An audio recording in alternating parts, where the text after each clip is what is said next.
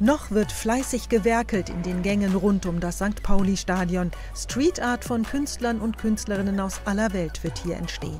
Dieses Jahr sind auffallend viele Frauen dabei. Aus Indien kommt die Graffiti-Künstlerin Dizzy. Oh, ich habe immer gedacht, hier würde ich zu gerne malen und habe mich dann riesig gefreut, als die Einladung kam. So viele weibliche Künstlerinnen aus aller Welt zu treffen, das war eine ganz tolle Erfahrung. Uh,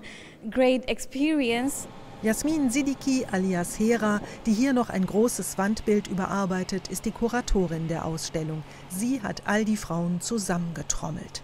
Tatsächlich äh, weiß ich, dass weibliche Künstlerinnen eine Doppelbelastung hatten während der Pandemie, weil sie dann auch ganz oft diese neben dem Zeichnen und Malen und den musischen Stunden auch einfach mit dem Homeschooling ihrer Kinder beschäftigt waren. Die waren dann heilfroh, jetzt die Einladung zu bekommen, um wieder rauszukommen. Flow heißt das Motto der Ausstellung. Alles im Fluss, alles im Werden. Das passt, sagt der Präsident.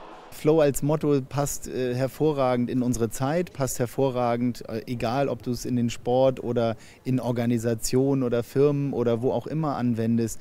Wir haben sehr viel Veränderung und wir müssen in diesen Veränderungen ähm, Punkte schaffen, wo wir sagen, da fühlen wir uns äh, okay mit und wie gehen wir mit Veränderungen um. Fußball und Kunst, das passt bestens zusammen. Sonst hätte sich die Millantor Gallery nicht so lange gehalten. Mittlerweile ist sie eine feste Institution in der Hamburger Kunstwelt.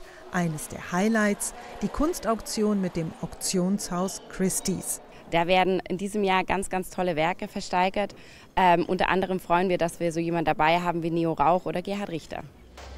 Am 23. Juni geht es los und bis dahin wird hier alles fertig sein.